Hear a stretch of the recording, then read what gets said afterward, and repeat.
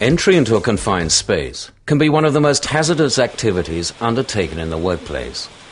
In the UK, many workers are killed or injured each year when they fail to take adequate safeguards before entering confined spaces whether you work in a confined space every day or only very rarely. You must always exercise extreme caution and care.